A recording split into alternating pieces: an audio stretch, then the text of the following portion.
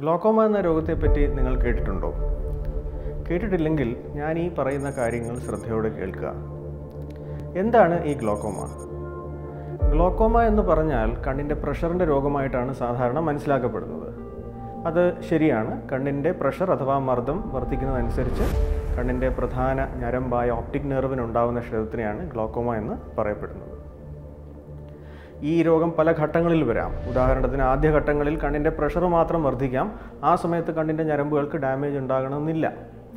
കുറച്ച് നാൾ കഴിയുമ്പോൾ ഈ പ്രഷർ കാരണം ഞരമ്പിന് ഡാമേജ് വരികയും അത് പ്രാരംഭഘട്ടത്തിൽ നിന്ന് വളരെ മൂർധന്യ ഘട്ടത്തിലേക്ക് പോവുകയും അവസാനം കാഴ്ച തന്നെ ഇല്ലാതാകുന്നൊരു സ്റ്റേജിലേക്ക് പോവുകയും ചെയ്യാം.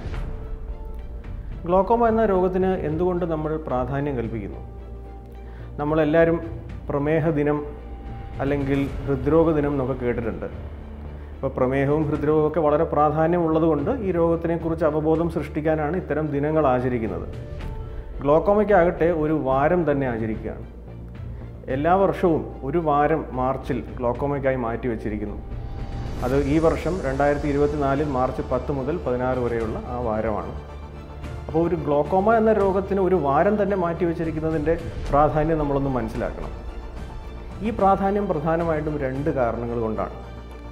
ഒന്ന് പലരും കരുതുന്നത് പോലെ ഗ്ലോക്കോമ ഒരു അപൂർവമായ രോഗമൊന്നുമല്ല. ഇന്ത്യയിൽ സാധാരണ നിലയിൽ ഒരു കണക്ക് പരിശോധിച്ചാൽ മനസ്സിലാക്കുന്നത് ഒരു ഒന്നര കോടി മുതൽ രണ്ട് കോടി വരെ ഗ്ലോക്കോമ എന്ന രോഗമുണ്ട് എന്നാണ്.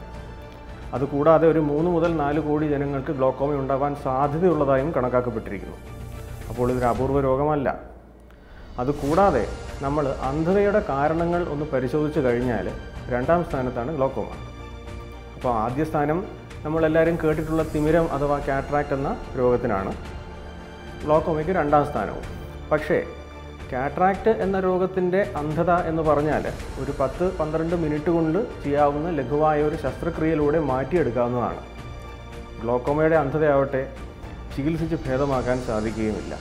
അപ്പോൾ രണ്ടാം സ്ഥാനത്താണ് കണക്കിലുള്ളതെങ്കിലും ചികിത്സിക്കാൻ പറ്റാത്ത അന്ധതയുടെ ഒരു ലിസ്റ്റ് പരിശോധിച്ചാൽ ഒന്നാം സ്ഥാനത്താണ് ഗ്ലോക്കോമ. രണ്ടാമത് ഇതിനൊരു പ്രാധാന്യം കിട്ടാനൊരു കാരണം. ഈ രോഗത്തിന് പ്രത്യേകിച്ച് രോഗലക്ഷണങ്ങളില്ല. സാധാരണയായിട്ട് ഏതെങ്കിലും ഒരു രോഗത്തിന് ലക്ഷണങ്ങളുണ്ടെങ്കിൽ ആ ലക്ഷണങ്ങൾ വരുമ്പോൾ നമ്മൾ ഡോക്ടറെ സമീപിക്കും. ഉദാഹരണത്തിന് തിമിരം. പ്രായമുള്ള മിക്കവർക്കും വരുന്ന ഒരു കണ്ണിന്റെ രോഗമാണ് തിമിരം അഥവാ കാട്രാക്ട് അപ്പോൾ കാട്രാക്ട് വരുമ്പോൾ കാഴ്ചയ്ക്കുണ്ടാകുന്ന ബുദ്ധിമുട്ടുകൾ കാരണം പലപ്പോഴും ഡോക്ടറെ സമീപിക്കുകയും അപ്പോൾ അതിനുള്ള ചികിത്സ ചെയ്ത് അത് ഭേദമാക്കാൻ സാധിക്കുകയും ചെയ്യും. ഗ്ലോക്കോമയിലാകട്ടെ ആൾക്കാർക്ക് രോഗലക്ഷണങ്ങൾ ഉണ്ടാവുന്നില്ല പ്രാരംഭഘട്ടങ്ങളിൽ അപ്പോൾ ഇത് കാരണം കൊണ്ട് തന്നെ രോഗം ആദ്യഘട്ടത്തിൽ കണ്ടുപിടിക്കാൻ സാധിക്കുകയുമില്ല. അതിന്റെ അവസാന ഘട്ടത്തിലേക്ക് അന്ധതയിലേക്കൊക്കെ അടുത്തെത്തിക്കഴിഞ്ഞാൽ അതിന് ചികിത്സയുമില്ല. ഈ രണ്ട് കാരണങ്ങൾ കൊണ്ടാണ് ഗ്ലോക്കോമയ്ക്ക് നമ്മൾ ഇത്രയധികം പ്രാധാന്യം കൽപ്പിക്കുന്നത്.